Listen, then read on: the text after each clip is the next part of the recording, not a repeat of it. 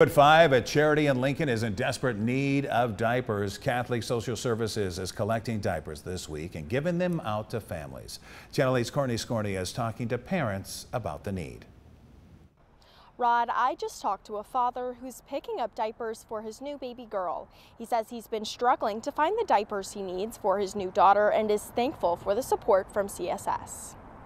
I went to a few stores and they didn't even have the ones that I needed for my daughter, but today they they had them here. The executive director of Catholic Social Services, Katie Patrick, understands the struggle of paying for and finding diapers. She's a mom of three kids who are all still wearing them. It's a budget line item for us every month, how much money that we spend on diapers. And so when I think of other families who, you know, experience a financial hardship and they're not able to make ends meet, having diapers and being able to routinely change your children to keep them happy and healthy is very important. She tells me last year, CSS gave away about 10,000 packages of diapers to parents in need.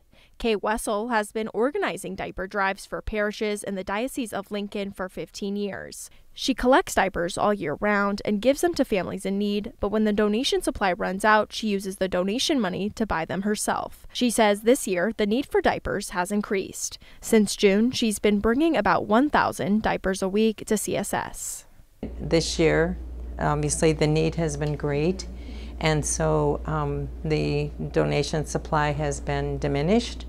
And with money that has been donated, I'm able to buy the sizes that are needed, the specific sizes. Wessel tells me the diaper drive is one of the ways CSS supports women after they have their babies. When you think about changing uh, an infant six to seven times a day, it takes a lot of diapers. CSS says its goal is that parents don't have to pick between paying their bills and buying diapers. More diapers means bringing more hope in the good life.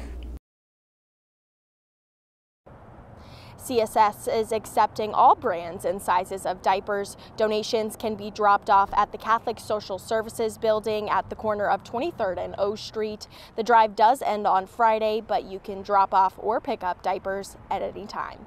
Reporting here in Lincoln, Courtney Scornia, Channel 8 News.